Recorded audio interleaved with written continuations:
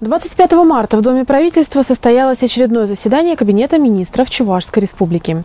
Министр здравоохранения и социального развития Алла Самойлова представила проекты постановлений, касающиеся исполнения бюджета территориального фонда обязательного медицинского страхования Чувашской республики, оздоровительной кампании 2015 года и изменений в программе «Земский доктор».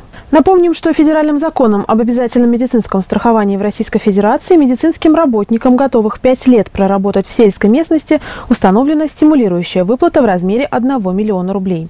Согласно изменениям в федеральном законодательстве, с 2015 года возраст медицинских работников, имеющих право вступить в программу «Земский доктор», увеличен с 35 до 45 лет. За время реализации программы «Земский доктор» в 2012-2014 годах медицинские организации Чувашской Республики расположены расположенные в сельских населенных пунктах, удалось привлечь 239 земских врачей.